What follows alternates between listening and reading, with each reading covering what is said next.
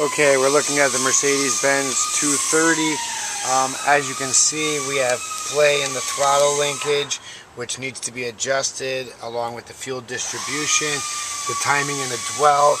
Also, somebody installed Bosch spark plugs and Mercedes recommends Champion.